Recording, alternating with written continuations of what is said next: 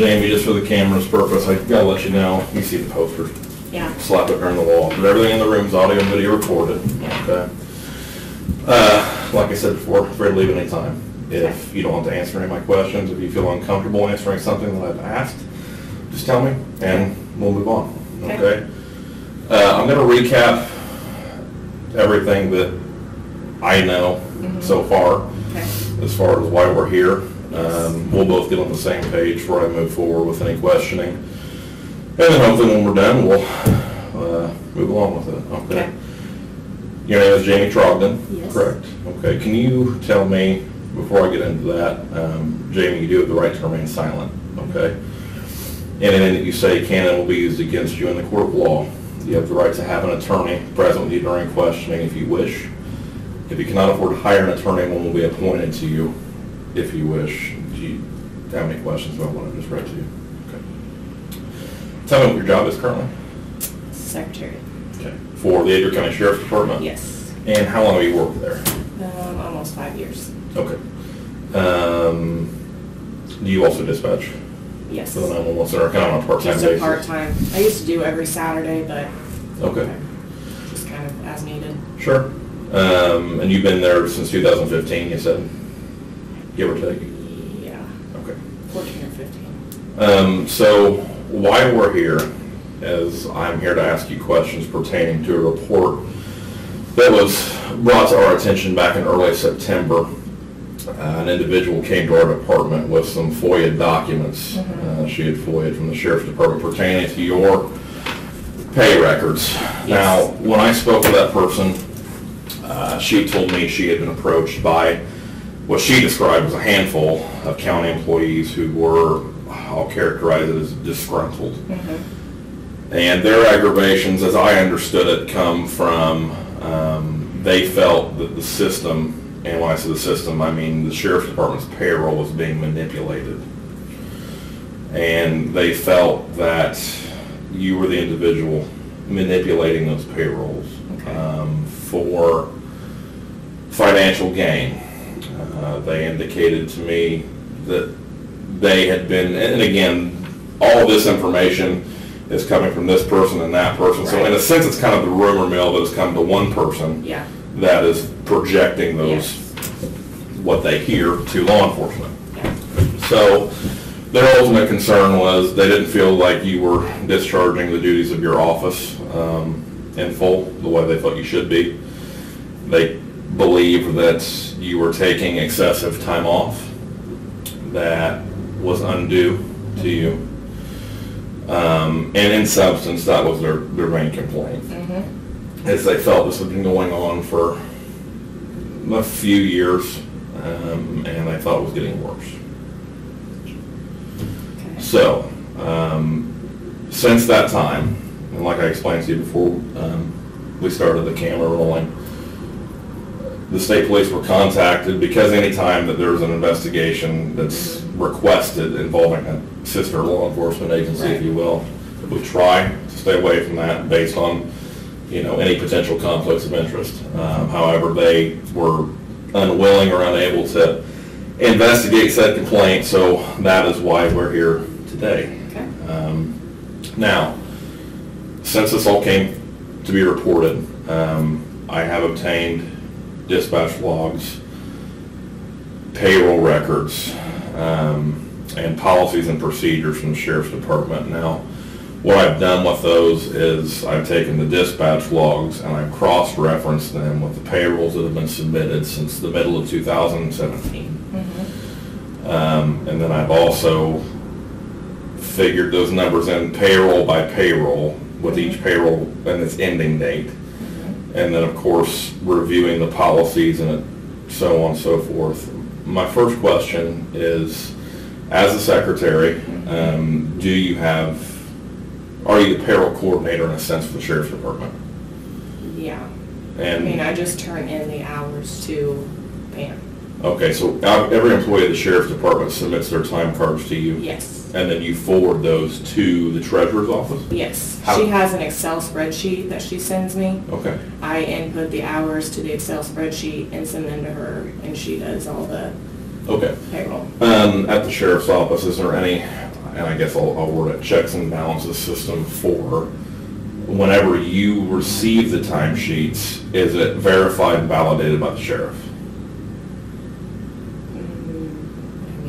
As in, when you get the time cards, does he look at them or do you just send, you send them, and is it by email? Uh-huh. Okay. Um, is it always by email, that nothing's ever hand delivered, it's just easier for? Yeah, sure. it's always by email. Um, and then has that been part of your job description ever since you began, Yes. as far as the payroll's concerned? Mhm. Um, incrementally, I just want to verify, everyone has their starting salary rate. But every year you've been employed there, there's always an incremental raise that comes, Yes. is that correct? Yeah. Okay. Um, describe to me, I guess, your scheduled workday is what? Um, I pretty much get there anywhere between eight and eight-thirty, Okay. stay between four and four-thirty, depending on what time. Jeff's always been pretty lenient with everything. Okay. When you say lenient, you just, he's pretty, you know, he's okay with a couple minutes here, a couple minutes there, he's not a stickler, as in it's gotta be eight, it's gotta be four No, o'clock? uh-uh, no. Um, has Jeff at any point ever been a part of validating pay records and what's been submitted for forwarding to the treasurer's office? Or it, that's always been your, part of your Yes. sole job description? Yes. Um, during your workday, is it a scheduled eight-hour workday you're supposed to work? Yeah. Okay, so, um, part of what I'm gonna ask here is, through the county's policy book, Mhm. um, it denotes that administrative personnel are working eight to four. Um, workday generally, same hours as the courthouse, they correspond with each other. Um, as I understand it, there's an hour of lunch that is supposed to be unpaid. Yes, and I think that's where a majority of this comes from. Okay. So Jim, Bryce Stratton, when he was Yes. there, Yeah. he was going through and he said, we're supposed to get an hour paid lunch. And I said, no, we don't get an hour paid lunch. I said, I've never got that. This was in, I think back in June, Okay. maybe, maybe a little before that, give or take. And I said, we don't get an hour paid lunch. And he's like, yeah, look at the county policy. He called, um, I believe it was Pam he talked to. Okay. And she said, yes, you know, we get the, the hour lunch break and whether there's a miscommunication. But I even called, like when that FOIA request came in, I even called Bryce because that's when, when I asked Nan about it and she said she thought it was because of the lunch break. And so I called Bryce and I said, we're under the same understanding, right? You know, that we got an hour paid because that's what he started doing. He was working eight to four with an hour paid lunch break. Is that a union, is it a thing in their bargaining? He's, no, he's not in the union. Right, he was administrative, but as far as the other CEOs that were unionized, was that part of Uh, their contract? They got an hour paid lunch, or No. they didn't, no one They got a half hour paid lunch. Okay. So, now obviously that, that in part was some of the concern because the hour paid lunch, contrary to county policy, had been given for, well, 2015, 16, 17, 18, up until June when it was discovered that that was not, in fact, how it was supposed to be paid. Yeah. Um, the other half of it is the, you had mentioned Jeff and, and leniency. Uh-huh. A lot of concerns that have been, again, projected to me mhm. through conversation have been, um, they feel that when I say manipulating the system, quote unquote, they claim you come in late every day. They claim that, um, you're not doing what you're supposed to be doing between eight and four. They claim that you, over the course of a few years, leave the building repeatedly for personal business. Um, my question to you is, at any point during the course of your career with the sheriff's department, have you necessarily left the building, whether it's for a doctor's appointment, whatever, that, anything personal that you need to attend to and, Mhm. and given yourself payment for that without using benefit time? No. Okay. And Jeff was like, I used to go get my daughter from school Mhm. and take her home. Jeff was aware of it, was fine with it. Okay. I mean, So,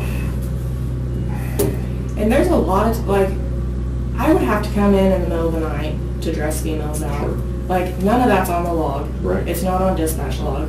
There's times when I would have to go meet D out at the firehouse, Mm-hmm. you know, and I'd have to do that for, it'd be a couple hours at a time Of course. doing that out there with him and, and Rich. And that's not anything I ever brought to work and said, hey, I'm two hours, I'm coming in at 10 today Mhm. because I spent two hours at the firehouse doing, Right. A lot, a lot of things that were done And- in excess were not documented and not accounted for.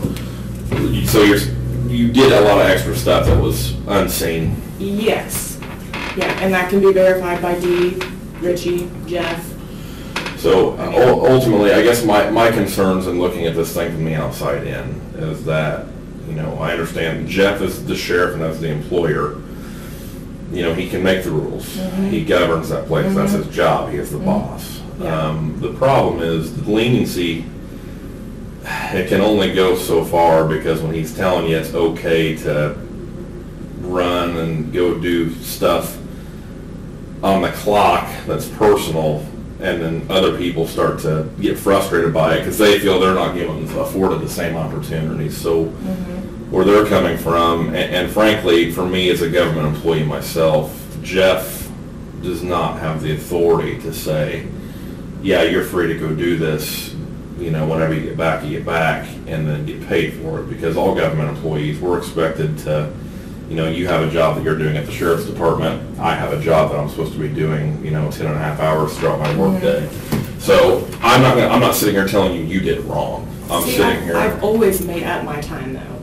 Like, on the back end, Yeah, whether I stay till five or, you know, I've, I've ne- I'm not one that's like, I don't know, I'm just not that type of person, I guess. sure, no, I, I understand, and I'm again, not we. a dishonest person, like, we talked about the log and, you know, that is ninety-five percent of the information that I have, I have to compare to the dispatch log. Now, you and I Mhm. both know, both having worked in the nine-one-one center, you cannot be accurate all the time. I Yes, understand there's yeah. going to be holes and voids in Yes. that. So, yeah. what I'm gonna tell you is, there was a subs- substantial amount of math that had to go into figuring, you know, hours unaccounted for versus mm-hmm. overtime is figured in. Long story short is that if there was a day on the log where it didn't reflect you mm-hmm. coming back into the building when you left, mm-hmm. then that was not counted as math or hours unaccounted for. And otherwise, I'm trying to say it does not, it doesn't affect you in a negative way. I'm saying that if there was a question as to whether or not there was a quote-unquote eight-hour day worked, you know, that was not counted against you, is what I'm trying to say. Um, So if there was any doubt whatsoever, it was an eight-hour day. Mm-hmm. Now, I scrapped out some numbers, and again, my math, i- it's not gonna be exact. Um, But when I looked at the logs compared to the pay sheets, and I figured in, if there was a time where you came in after eight o'clock or left before four o'clock, those numbers were factored in, and I also had to figure in the hour of lunch that's supposed to be unpaid. Um, from 2017 to 18 to 19, I'll tell you that I came upon a, a substantial number of hours that I'll say are unaccounted for. When I say unaccounted for, I mean I can't validate them on the log. I can't, there's no indication to me that you were in the building during those times. I mean, I'm not saying this for, this is not from rumor, this is just from papers I'm looking at. Yeah. Um, and that's it. So, and I'm gonna throw this number out to you. In between, all three years combined, I came to a total number. Let's see if I'm.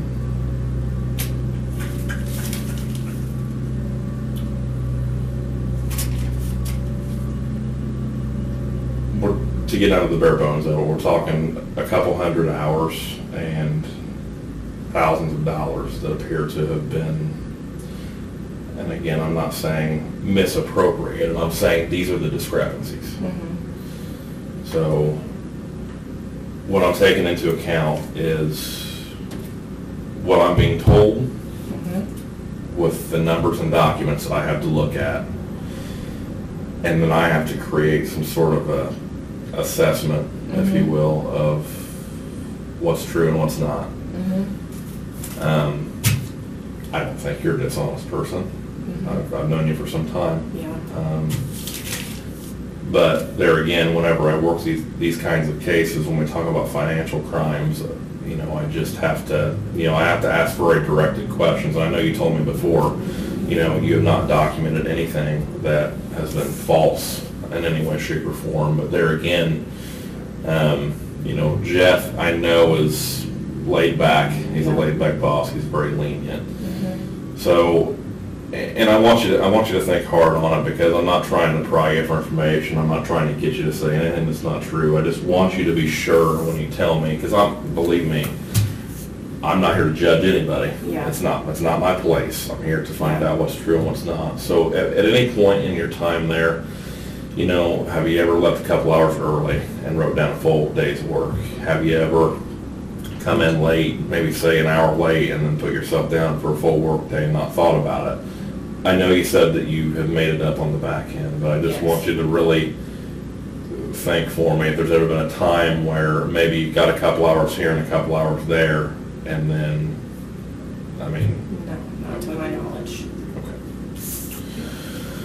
okay. Um, Like I said, there's even been days that, you know, I went to Jeff and I'm like, you know, do you have anything for me to do? What can I do? sure, And he's like, no, I don't have anything.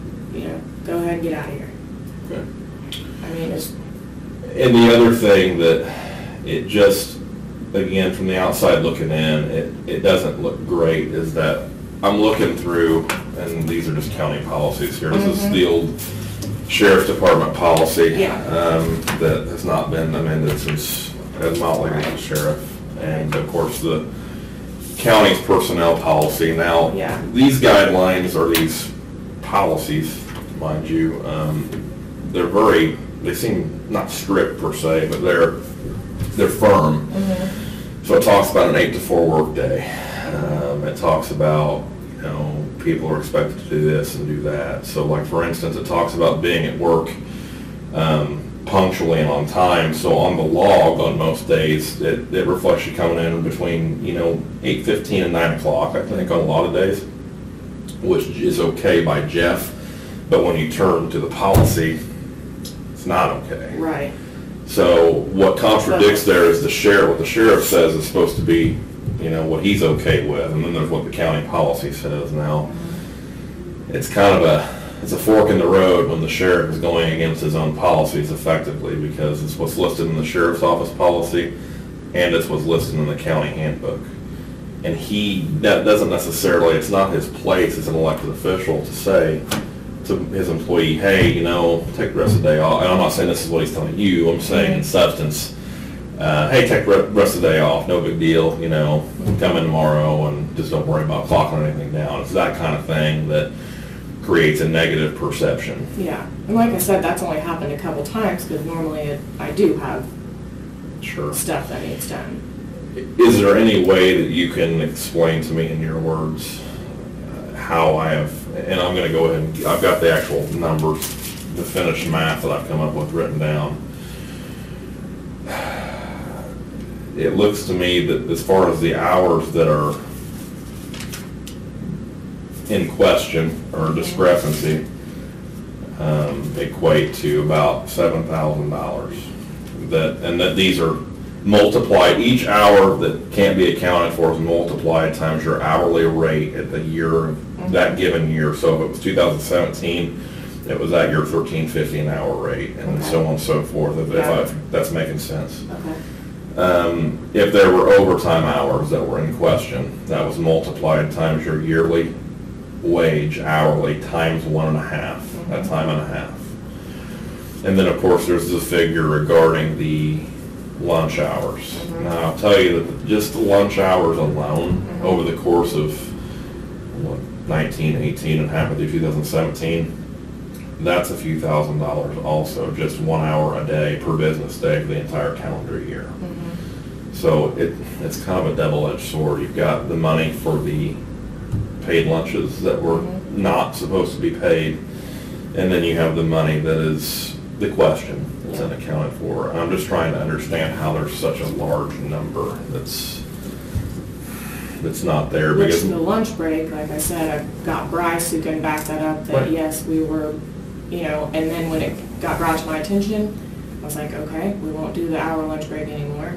It's not a big deal. Okay.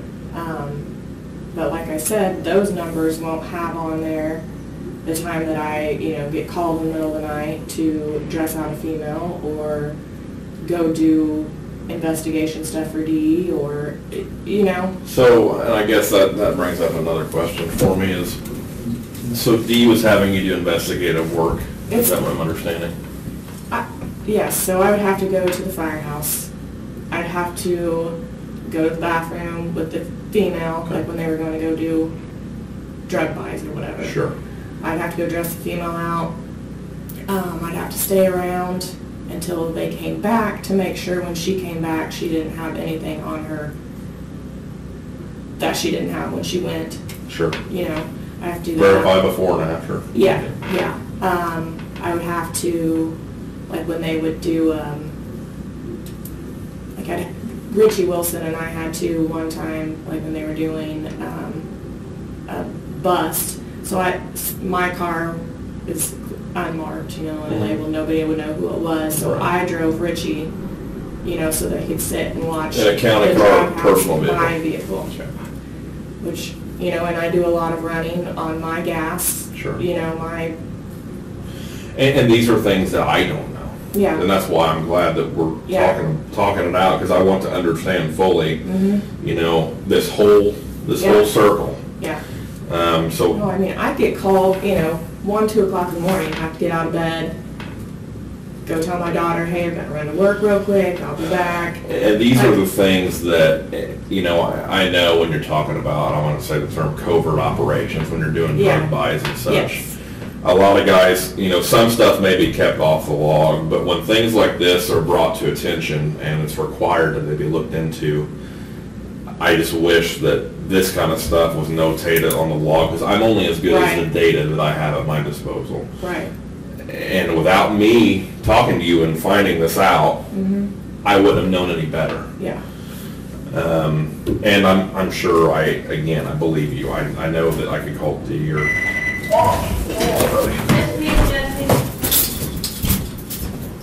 Okay. Gotta find a cor- a cord. You're okay? I was gonna leave that crack, Jamie, is that all right? Okay. Um. broke the track. Like I said, I would never do anything purposely to, you know, just not the type of person I am. Sure. And again, I'm, I'm not gonna sit here and, you know, I, I can't tell you one way or the other. I'm just here to ask you questions and, and hope, Yeah. hopefully, you know, I'm getting, I, I'm- I believe I'm getting truthful answers. Um, That's just one of those things that, I, it's just the investigation of it. Yeah. It's, it's not something that, um, you know, this is treated the same way as anything else. Yeah. Well, I know there's some days too that I was here and when I looked back, like there weren't, there was nothing on the On the log. Like it doesn't even show I came in that day, but I was there. And, you know, that's, And I'm like, Again, it goes back to who can authenticate those log records and, mhm. um, who can sit there and say, yeah, I put those in, they're one hundred percent accurate. Yeah, I mean, they're just not, they're not gonna be, because, you know, I understand that in nine-one-one, you get hammered with four or five nine-one-one calls, you may miss somebody coming in and out the back door. Mhm. Now, uh, what I'm just, what I want to make sure I understand fully is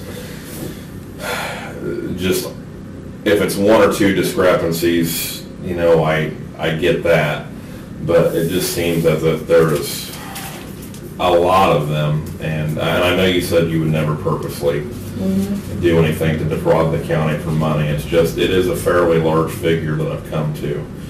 Um, I know that you started working some overtime back in, it looks like,